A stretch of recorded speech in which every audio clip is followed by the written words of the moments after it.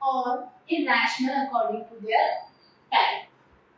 So any number which is not a perfect square is a irrational number. So root 31 is a irrational number. Now the second one, root 225.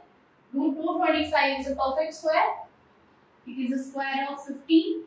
15 multiplied by 15. Outside 15 is there and 15 is a rational number.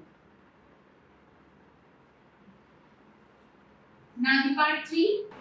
Part 3 0.3796. This is terminating so it is a rational number.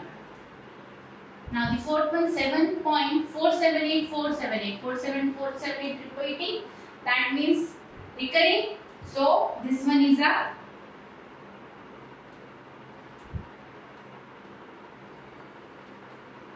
irrational number.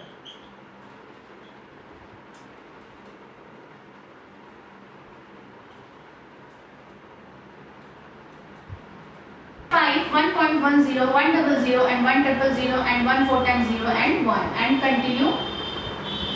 So this number is not getting repeating, that means non-recurring, and still dividing, that means non-terminating. So non-recurring and non-terminating numbers are irrational numbers. So part 4 is irrational number. So this is the solution of the question number 9.